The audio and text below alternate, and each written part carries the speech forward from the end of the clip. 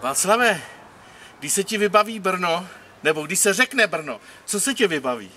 Hele, Brno je zlatá loď, divadlo Husa na provázku, špilas, starý štatl, ovocný trh, Moravský zemský muzeum, příjemní lidé. Za děvčaty z Brna choď. Hm, jsou hezké. Hm, a věrná. No ale víš co, mně se vybaví, když přijedu do Brna, Tugenátova vila. To je pravda. UNESCO? Ano, ano, nepletu. ano, ano. Je před námi hlavně teď dlouhá cesta a do večera jsme tam. Já pevně věřím, že jo, že cesta bude ladná, bezpečná a plynulá. Přece jenom eh, vezeme náš vůz, radní vůz, a, a musíš taky zmínit, proč tam jedeme. No jdeme tam samozřejmě na veletrh, eh, mezinárodní veletrh cestovního ruchu Region Tour 2022. To si vybrali dvojku, co? Eh, Jedeme tam reprezentovat město Kašperské hory, Hrad Kašper. samozřejmě, protože jedno a to tež. A eh, jedeme zkrátka trošku udělat i poprask, rozruch, Tak. Máme nadspaný auto, máme tam i historickou zbroj, kostýmy. zbraně, spoustu artefaktů, pražské groše, starobilé fotky. Ty jsi vzal pražský groče? I mám pražský groše. Jež. Které byste neměli na rozměnění náhodou někde. Tož, tož ty Brňáci, ty se podívej, jo. No, hlavně tam chci udělat pořádnou atrakci, protože veletrh cestovního ruchu nesmí být jenom tak jako nudné rozdávání letáčků. Že? Aby jsme tam zapadli mezi ty ostatní, my musíme trochu vyčnívat. Hlavně budeme jediní vystavovatelé z celé České republiky, kteří budou mít funkční výčep.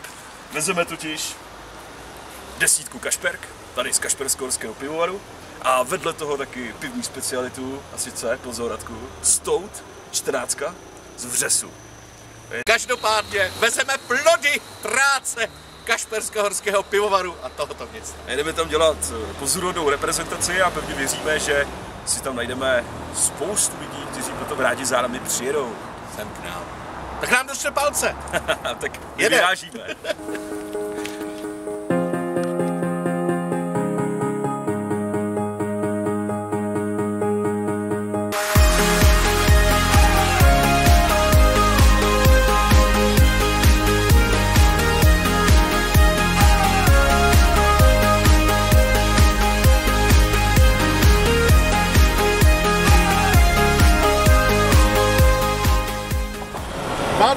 Přejíždíme Otavu. Výborně. Natoč ty panoráma. Václave, přejíždíme Vltavu. Takovej kousek, to se mi vůbec nechce věřit, teď jsme překoukali přes tam.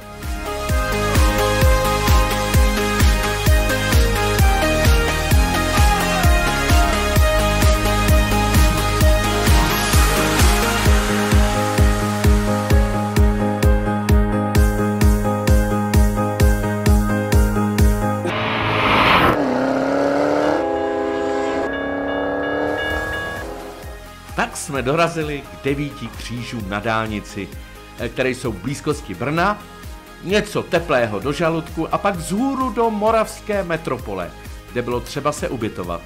No a tady jsou první dojmy z balkónu už našeho apartmánu. Vážení diváci, já se přiznám Václavovi i sobě, že když jsme sjížděli z dálnice eh, Praha, Brno, tak jsem nezvolil ten správný výjezd z dálnice. Jeli jsme přes Slatiňany na Líšeň a tam jsem zjistil, že to je špatný směr. Václav nikoliv eh, zachoval svoji diskrétnost a soustředěnost na jízdu, a nakonec v podstatě jsme se dostali k veletrhu, tedy k veletržnímu paláci. Který je nedaleko. Ano. A tam jsme v podstatě díky Václavovi technice už potom se dopravili na to správné místo, tedy sem. Díky Radkovo skvělým navigátorským schopnostem. Plnou náhodou. Náhody neexistují. Dobrou, no. Blaženě jsme se vyspali a druhý den Václav v plné zbroji bez bázně a hany vkročil do budovy G ke stánku plzeňského kraje. Při každém naražení piva se u nás houkalo. Kašperk desítka na čepu. Dobro, tam. No, teď to mělo ten zvuk, Václav. No.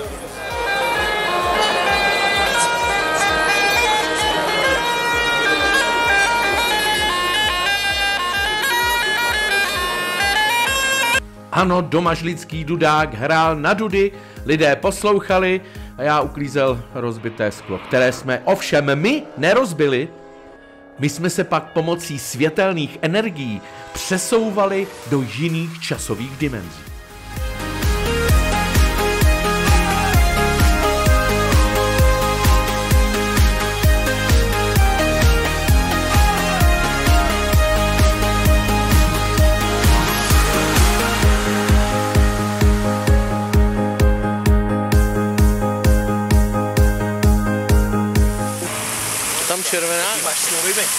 Dneska jsme to zahájili.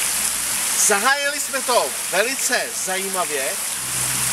My teď stojíme u nádherné světelné fontány, malé, ale přitom jako pro nás pochopitelně výhodné z hlediska toho pozadí u nového pavilonu P. Je to půvabné. Je to půvabné. A my, by, my bychom vám chtěli samozřejmě popřát dneska dobrou noc. Uh, já mám ještě strašně dojmu, který bych vám chtěl říct. Václavé, lidé už jí spát, proč jim to teď říkat?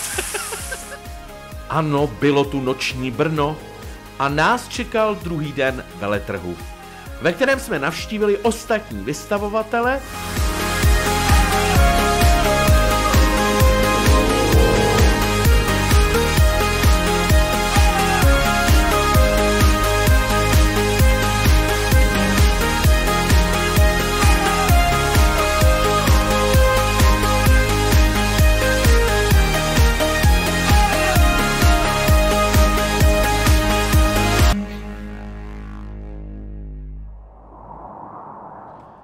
večer jsme vyrazili do brněnského centra. A zde se Václav ptal kolem jdoucích na to, co se jim vybaví, když se řeknou Kašperské hory. Hodně zajímavé odpovědi nás čekaly a také překvapení, které jsme my v Jaru nečekali. Prosím? Můžu se vás na něco zeptat? Určitě. Co se vám vybaví, když se řekne slovo Kašperský hory? Co? Pěkné hory. Pěkné hory, Čechy. Čechy. A napadne vás něco třeba?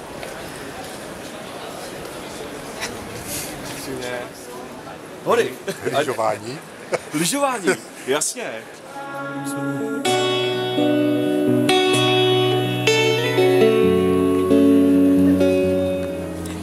Co vás napadne, když uslyšíte slovo Kašperský hory? Napadne vás něco? O, já ne, ne, neduže mluvím česky. Kašperský hory, jo. No, napadne vás něco? Jo, Šumperk maximálně. Je to u toho nebo ne? Ne, na Šumavě. Na Šumavě, jo. Když se řeknou Kašperský hory, co se vám vybaví? Kašpecké hory. Kašperky, no. No, co se vám vybaví jako zajímavýho? Kolta, ne? Tam se ti, ti, těžilo zlato, ne? Mluvíte česky?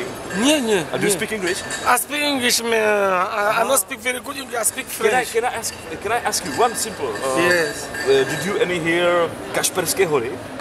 No, I just come in. I live in Poland. I come today to Kašperské hory, no. to Poland. Yes. Okay. To to, It's to okay. check. Okay. Yes. Okay, enjoy. enjoy. Yes. Co tady děláš, ty skřete? No, já jsem se vás chtěl zeptat, jestli vás něco napadne, když uslyšíte kašperky. Kašperky. To je nějaká díra plná pygmejů, ne? Pygmejové, to jsou takový ty malý, eh, myslíte, jak těží zlato, permoníci. Zlato? To už máte všechno vytěžený, ne? Jo, jo, děkuji, děkuji, děkuji, děkuji, děkuji. Radši jdem ty. Ne, tady slečnu zkusíme. Je dobrý večer. Se vás na něco Co zeptat? by se potřeboval? Co se vám vybaví, když řeknu, Pardon. Hele, ty už máš do očí do foroty, jo? A co? Dobu. Co Zas. tady děláš? já jsem se přišel zeptat eh, slečny, um, když řeknu Kašperské hory, co se vám vybaví? Hrát kašperk. Jsi tam byla? S kým jsi tam byla? Nežuj na ní. Jsi normální? Neser se do ní. Nech ho bej. Pojď, nech ho bej. Radši půjdeme, radši půjdeme, radši půjdeme. Tady se to začíná být. Tak tady jsme díky naší anketě vyvolali málem šarvátku, ale raději jsme vyklidili pole a Zeptali se ještě taxikáře, který nás dovezl domů. Řekněte, co se vám vybaví Kašperský hory? No, že to je někde na horách. Kašperský hory. Já si teďka nemůžu prostě s tím e, e, e, srovnat, kde to je přesně. Řeknu Plzeňský kraj. A jo, tam to neznám vůbec. Plzeň, tam to neznám. Plzni jsem byl samozřejmě, jo, ale tam to neznám. Jizerský hory trošičku na líže a tak dále. A Jeseníky, Šumavu. Tak Jeseníky a Šumavu pan taxikář znal, ale Kašperské hory zatím minul. Další den se veletrh opět rozjel. S ním například řemeslník pracující s břidlicí, virtuální realita, anebo jezdící schody.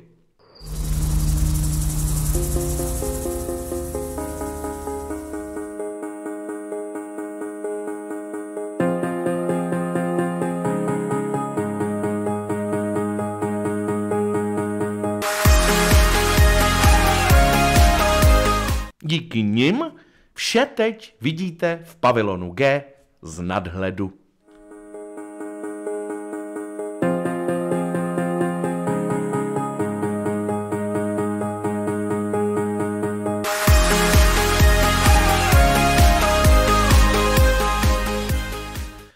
Nastal čas odjezdu.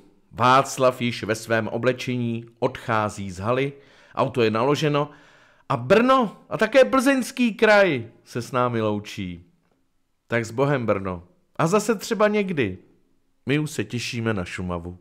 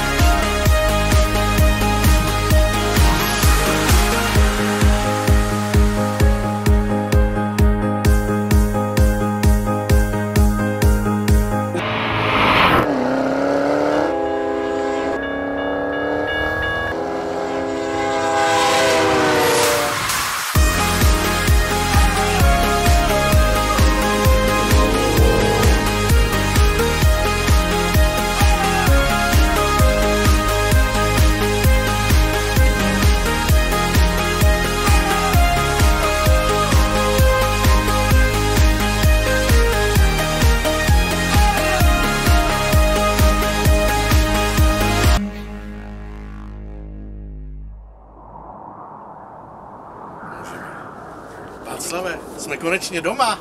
Všude dobře. Na hradě nejlíp. Především a zejména naše mise byla úspěšná. Takže já to vnímám velice kladně. Byla to asi nová zkušenost. Uh, myslím si, ovšem, co jsem vyslechl řadu lidí, kteří mají srovnání s předchozími lety, tak uh, byl tam dost velký útlum, méně vystovatelů a méně návštěvníků oproti tomu, co bylo třeba před covidem. Tak jsem vyslechl často názor, jestli náhodou nejsou takto velkoryse řešené veletrhy cestovního ruchu už za zenitem. Jestli náhodou už jejich uh, doba trošku neodbimbala. Radku, co si myslíš ty? Je, souhlasím s tím, že opravdu málo lidí tam bylo a že eh, byly chvíle samozřejmě, kdy se eh, to okolí plzeňského kraje, tedy stánku plzeňského kraje docela zaplnilo, ale to byly chvíle, kdy prostě ty lidi se tam zrovna tak jako nahromadili, ale víš, ono zase veletržní výstaviště v Brně je obrovský, jo, a byly tam samozřejmě ještě veletrh obytňáků a karavanů, takže ty lidé tam byli rozprostřeni ale i tak, ti lidé, co přišli, co přišli za námi, tak se zajímali, ptali se, navázali jsme pak zajímavých, pár řadů zajímavých kontaktů a myslím si, že to byla zdárná propagace Kašperských hor a hradu Kašperk v Brně. ano, tam jste viděli to, co jsme tam prožívali, to, co jsme tam mohli vidět a pokud se vám to líbilo, dejte nám like. Z hradu Kašperk vás zdraví Kastelán Václav Kus a Radek nakládal další hvězda tohoto výletu.